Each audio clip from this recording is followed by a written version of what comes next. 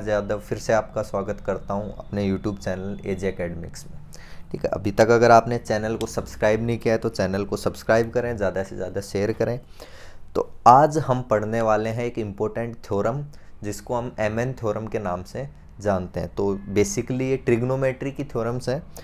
तो M N theorem का statement हम देखते हैं और कैसे उसका प्रूफ रहता है, वो हम देखते हैं। ठीक है तो क्या रहता है इसका स्टेटमेंट इन ए ट्राइंगल एक कोई त्रिभुज अपने को दिया हुआ है ए बी सी ठीक है in a triangle A B C a point G is dividing dividing base B C B C हम इसका साथ साथ जैसे मैं डायग्राम बना देता हूँ, इस टाइप से अपने पास। ये जो है ए बी सी ट्राइंगल है। ठीक है? और ये जी पॉइंट है। Point G is dividing base B C in ratio M ratio N ठीक है? ये एम और ये एन एम रेशियो एन में जी पॉइंट इसको क्या कर रहा है? डिवाइड कर रहा है। एंड एंगल ए ए जो एंगल था उसको angle A in alpha and beta ठीक है? इसको अल्फ़ा और बीटा में डिवाइड कर रहा है।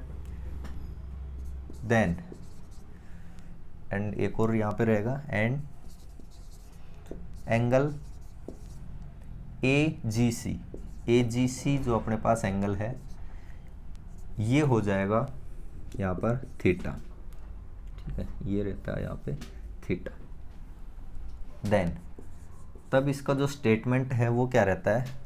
फ़र्स्ट एम दो स्टेटमेंट है इसके M plus N cot theta equals to M cot alpha minus N cot beta first जो स्टेटमेंट है वो अपने पास ये रहता है M cot alpha minus N cot beta second इसका एक और स्टेटमेंट रहता है और ये रहता है अपने पास M plus N cot theta equals to और ये रहता है अपने पास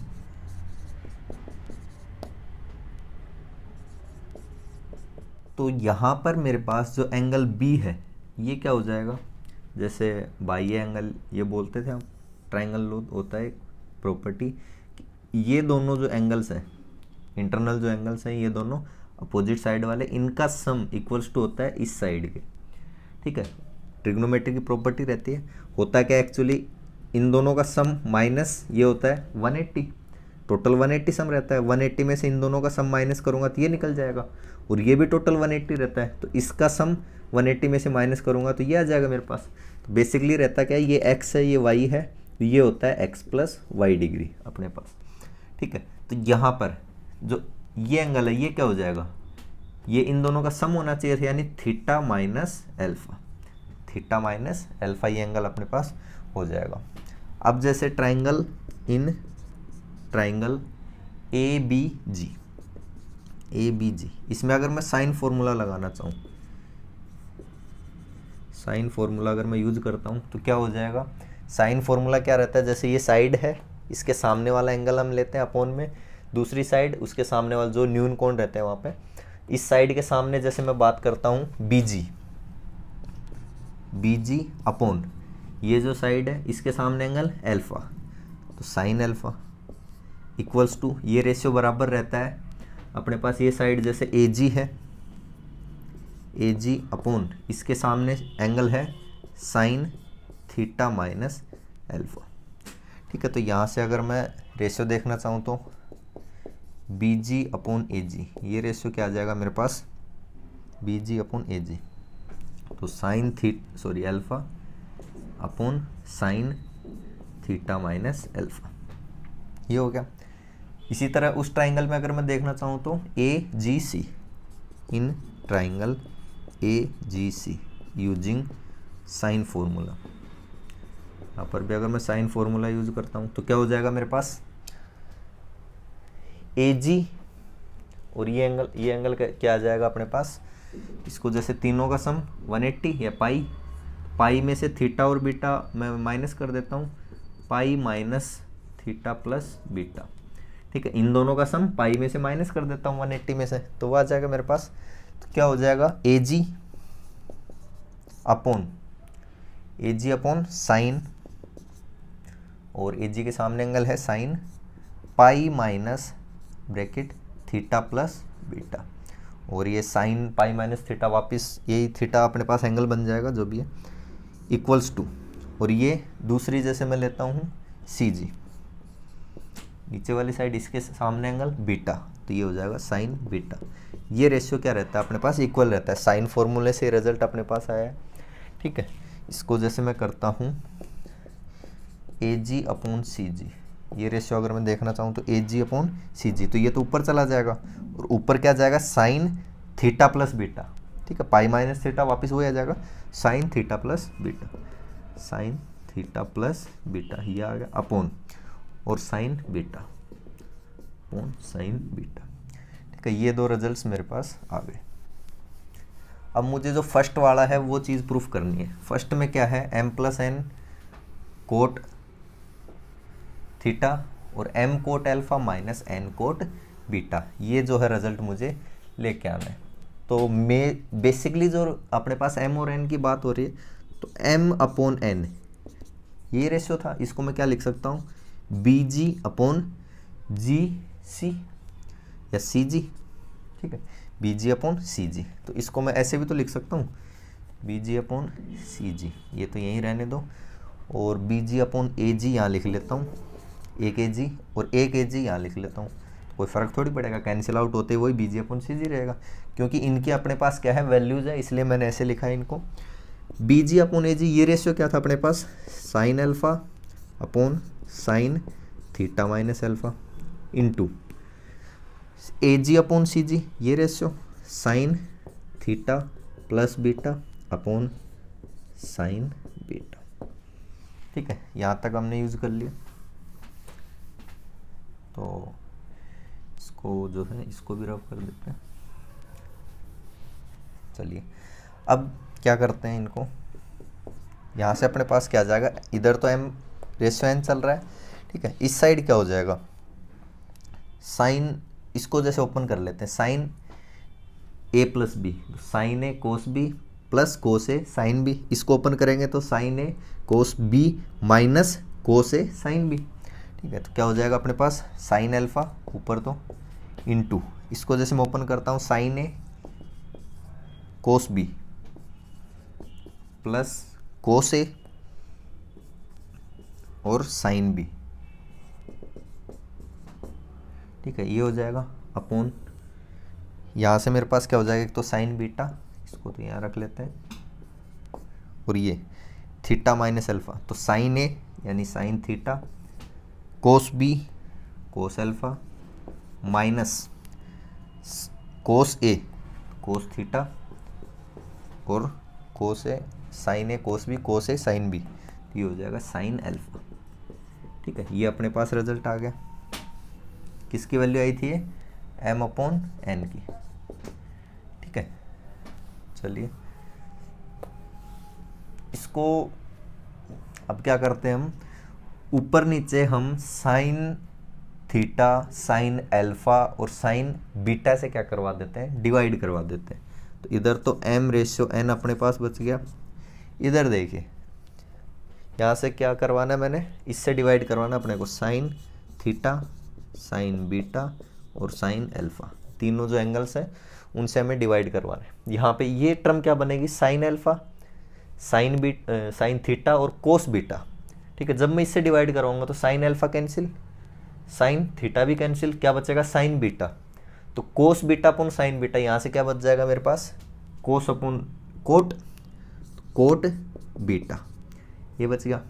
सेकेंड टर्म देखिए sine alpha cos theta sine beta तो sine alpha cancel sine beta भी कैंसिल क्या बचा? Sine theta cos theta upon sine theta यहाँ पे क्या बच गया मेरे पास? कोट थीटा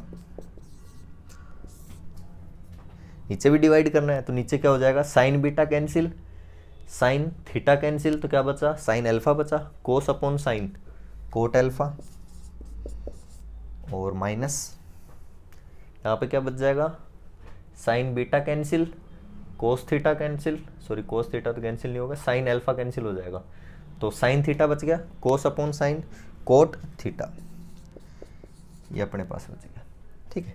अब क्या करते हैं? क्रॉस मल्टीप्लिकेशन करवा देते हैं तो क्या हो जाएगा अपने पास? एम कोट एल्फा इसको जैसे मल्टीप्लाई करवाऊँगा तो M cot alpha minus M cot theta ठीक है? इक्वल्स टू और इधर क्या आ जाएगा? N cot beta plus N cot theta ठीक है? कोट थीटा दोनों में। तो क्या करता हूँ मैं? इसको इधर ले जाता हूँ। तो ये हो जाएगा एम प्लस एन और कोट थीटा कॉमन आ जाएगा दोनों में से। इक्वल्स टू इसको यहाँ ले आता हूँ। इस वाले टर्म को तो एम कोट एल्फ़ा माइनस और ये एन कोट बीटा ठीक है? ये जो है हमारा फ़र्स्ट जो एम एन थ्योरम का स्टेटमेंट है, वो अपने पास काम आएगा, ठीक है? और बार बार काम आएगा इसमें तो याद कैसे रखना आपको? ठीक है, ये क्या हो गया? M plus N cot theta और M cot alpha minus N cot beta तो आपको इसको कैसे याद रखना है? एक तो ये चीज़ ध्यान रखने की कौन से ट्राइंगल में थीटा है, ठीक है? इस वाले ट्राइंगल में थीटा है। तो क्या करना है? एम कोट एल्फ़ा और जो जिस ट्राइंगल में थीटा दिया हो, उसको माइनस करना है। तो एक तो इधर तो M plus N cot theta ये तो फिक्स है। M plus N cot theta यहाँ तक कोई दिक्कत, इधर ये कैसे ध्यान रखना M cot alpha minus N cot beta M cot alpha minus N cot beta minus किसके साथ लेना जिसमें थीटा अपने को दिया हुआ है। ठीक है? अब जैसे इसका सेकंड प्रूफ है, वो करते हैं। तो वीडियो अगर आपको अच्छा लग रहा है इसको लाइक करें। ज़्यादा से ज़्यादा जो है शेयर भी करना है दोस्तों के बीच।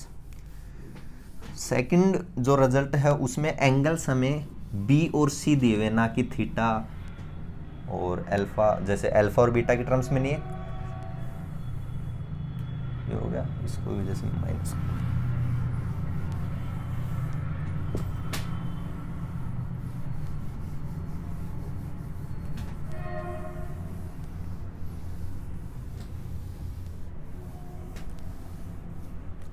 वापस लिख हूँ plus N cot theta equals to N cot B यहाँ पे एंगल बीटा नहीं है, ये कम कंप्लीट भी दिया हुआ है माइनस एम कोट सी ठीक है?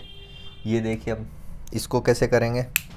वापस से जैसे साइन फॉर्मूला वही तरीका जो है यहाँ पे अप्लाई करेंगे हम, इस ट्राइंगल में इन ट्राइंगल ए बी जी इसमें अगर मैं साइन फॉर्मूला यूज़ करता हूँ यूजिंग साइन फॉर्मूला, ठीक है? B G B G B के सामने एंगल एल्फा अब यहाँ पे अल्फ़ा नहीं लेंगे, हम ये एंगल लेंगे B A G sine B A G ठीक है? इसको थीटा और बी की टर्म्स में लेके आएँगे, क्योंकि अपने पास कहीं भी इसमें अल्फ़ा नहीं है। तो थीटा और बी की टर्म्स में लेके आएँगे इक्वल्स टू और जैसे ये साइड है ए जी ए जी के सामने अपने पास एंगल ये तो ये क्या हो गया? बी एंगल साइन बी ठीक है? इसको बी ए जी ये जो एंगल था अल्फ़ा इसको मैं थीटा माइनस बी लिख सकता हूँ। भाई, इन दोनों का सम ये होता है। यानी बी प्लस एल्फा जो भी है, उसका सम ये होगा। एल्फा की वैल्यू मुझे चाहिए माइनस सॉरी बीटा नहीं बी ठीक है तो इसको मैं क्या लिख सकता हूँ? बी जी अपॉन साइन और ये हो जाएगा मेरे पास थीटा माइनस बी और यहाँ से मेरे पास रेशियो क्या आ जाएगा? बी जी अपॉन ए जी ये रेशियो क्या आ जाएगा अपने पास? ये ऊपर चला जाएगा। Sine theta minus B upon sine B ठीक है? इसी तरह उस ट्राइंगल में अगर मैं देखना चाहूँ, इन ट्राइंगल ए जी सी उस ट्राइंगल की अगर मैं बात करूँ वहाँ पर, क्या हो जाएगा? मेरे पास सी जी सी जी के सामने एंगल कौन सा है? सी जी इसके सामने एंगल बीटा है, ठीक है? इसको, लेकिन मुझे बी सी इनकी टर्म्स में और थीटा इनकी टर्म्स में लेके आना है।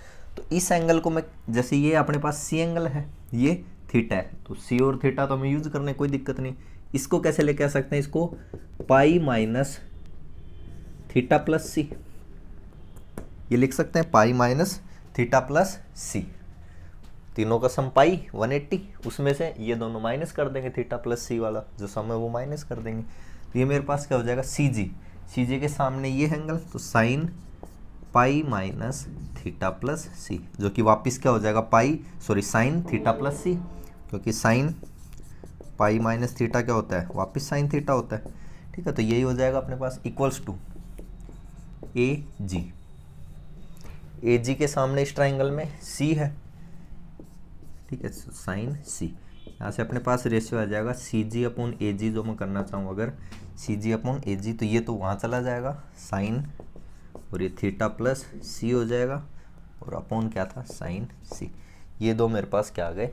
रेशियो अब सिमिलरली वैसे क्या करना है अपने को? एम रेशियो एन लेना है। ठीक है, इस रेशियो की ज़रूरत पड़ेगी। और ये आ गया अपने पास। ठीक है तो एम रेशियो एन और एम क्या था? बी जी अपॉन एन क्या था? सी जी ठीक है, इसको क्या लिख सकते हो? B G upon A G into A G upon C G ये लिख सकते हो? कोई दिक्कत नहीं ए जी से ए जी कैंसिल इससे यही बच जाएगा बी जी अपॉन सी जी अपने पास वापस से। क्या हो जाएगा? ये रेशियो अपने पास क्या है? वो sine theta minus B upon sine B ठीक है? ये ए जी अपॉन सी जी हमें चाहिए। और हमारे पास क्या है? सी जी अपॉन ए जी तो इसको क्या कर देंगे? रिवर्स कर देंगे। ऊपर नीचे चेंज कर देंगे तो ये क्या हो जाएगा? Sine C upon sine theta plus C change क्योंकि हमने? ए जी अपॉन सी जी चाहिए हमें। यहाँ सी जी अपॉन ए जी तो इसको अपोजिट कर दिया। क्या हो जाएगा?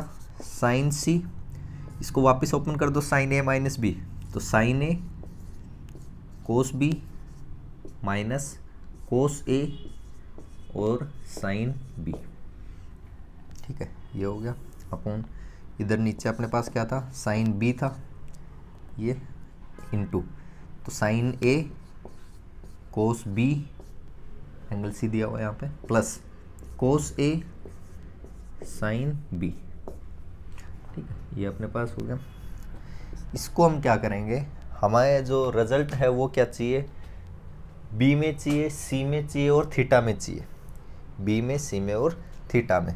तो साइन बी साइन सी और साइन थीटा इनसे हम क्या कर देंगे? इनको डिवाइड कर देंगे ऊपर नीचे दोनों को।